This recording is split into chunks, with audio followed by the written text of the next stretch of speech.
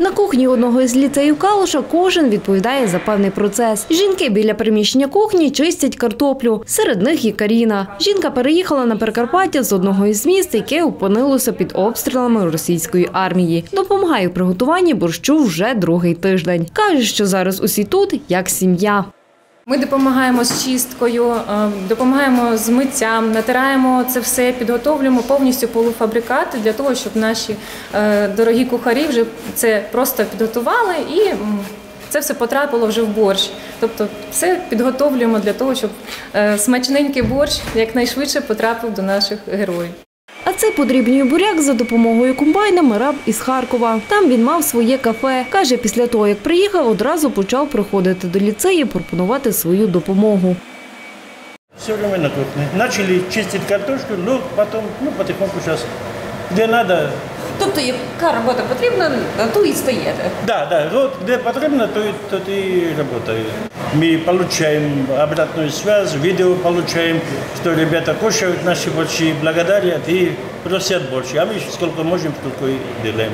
На, ну, что позволяет, можно с кухни и Сьогодні керує процесом приготування борщу Тимофій Ситник. Чоловік каже, що приготування їжі для нього хобі, адже сам не є професійним кухарем. Борщ розповідає, тут готують за традиційним рецептом. Роблять його наваристим, щоб довше зберігався. А виходить він смачним, адже готують його з особливою любов'ю до Збройних сил України.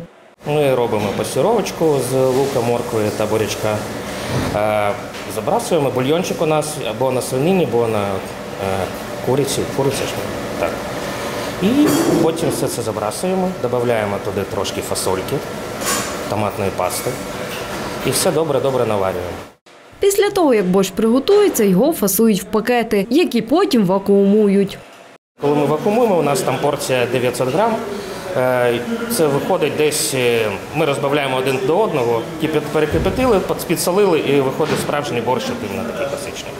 Ідея готувати борщ у вакуумній упаковці належить колишньому учню ліцею Тарасу Лилику. Його дружина Валентина розповідає, придумала готувати страву, тому що хлопцям на передовій критично не вистачає гарячих страв. У нас в Києві е, є свій бар, е, де готуються е, способом вакуумування різні соуси, які мають довгий термін зберігання. І тому виникла ідея, чому не робити борщі в вакуумній упаковці. Це аналог закритих банок, але він більш сучасний, так сказати. Строк зберігання борщів в такому форматі біля найменше це е, д- 2-3 тижні. Ми з кожної партії залишаємо собі екземпляр, щоб спостерігати над цим процесом, тому що ми також аматори в цій справі.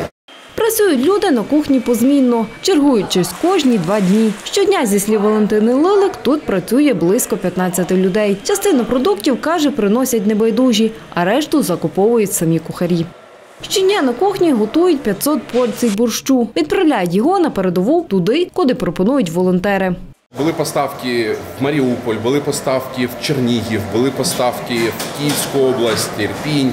Ну тобто на Волинь. Е, в нас є фідбек від е, воїнів. Вони кажуть, що дуже смачно, вони його їдять і хочуть ще і більше. Ну і ми робимо ще і більше. Зі слів Олександра Воловенка, борщ можуть передавати не тільки військовим, але й у міста та села, де бракує харчів для цивільного населення. Галина Марійчина, Роман Кочершук. Новини на Суспільному. Івано-Франківщина.